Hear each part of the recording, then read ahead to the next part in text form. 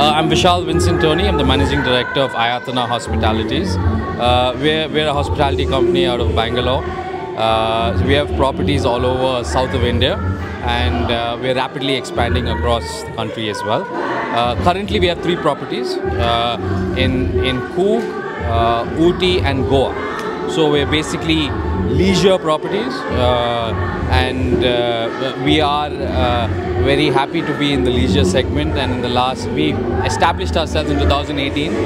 It's been a good last six years, and uh, glad to be a part of this event. Fantastic. Tell us, what does the World Travel Awards award mean to the business? Uh, I feel the World Travel Awards is, is not only to the business, it's it's also for the organization.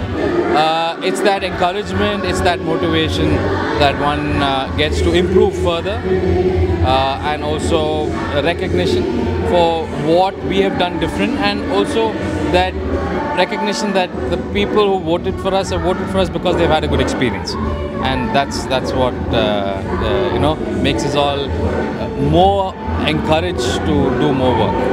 Fantastic, and congratulations once again. Thank you so much. Thank you so much for the opportunity.